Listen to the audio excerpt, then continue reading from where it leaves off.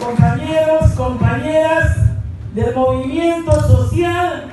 y de toda la articulación de la patria grande. Efectivamente, como decía la compañera que me presentó, la voz de la mujer no es porque se tenga que exigir ni plantear que es necesaria. Hoy en día tenemos que reconocer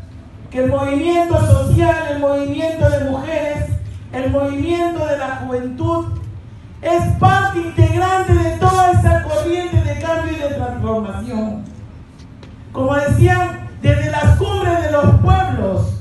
que desde 1998 efectivamente se empezaron a impulsar desde todos los matices y las visiones que se luchaban por el cambio y la transformación,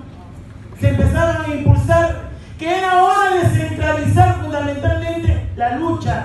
las reflexiones, las propuestas, de ir construyendo ese sujeto social para acumular fuerza para el cambio y la transformación de nuestra patria, América Latina y el Caribe, de sacar lecciones. Y ese cambio no puede ser sin las mujeres, sin el movimiento de mujeres, sin el, movimiento de mujeres